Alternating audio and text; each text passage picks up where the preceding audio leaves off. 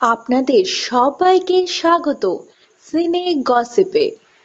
অভিনেতা বিক্রম চট্টোপাধ্যায় বর্তমানে হেফাজতে। কেমন কাটলো তার রাত? কি খেলেন তিনি সকালে? গত উনত্রিশে এপ্রিল ভোররাতে গাড়ি দুর্ঘটনায় মৃত্যু হয় মডেল সোনিকা সিং চৌহানের। সেই সময় গাড়ি চালাচ্ছিলেন অভিনেতা বিক্রম চট্টোপাধ্যায়। মদ্যত অবস্থায় গাড়ি চালানোর জন্য দুর্ঘটনা ঘটেছে এরকমই অভিযোগ ওঠে অভিনেতা বিক্রম চট্টোপাধ্যায়ের বিরুদ্ধে। গত তিরিশে মে তার বিরুদ্ধে অনিচ্ছাকৃত খুনের মামলা আনে পুলিশ।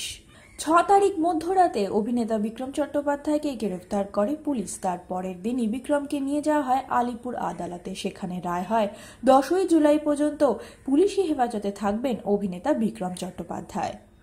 বর্তমানে অভিনেতা বিক্রম চট্টোপাধ্যায় রয়েছেন টালিগঞ্জ থানায়। তিনি রয়েছেন টালিগঞ্জ থানার দোতলায়, যেখানে রয়েছে লক আপ সাধারণ মানুষের প্রবেশ নিষেধ সেখানে।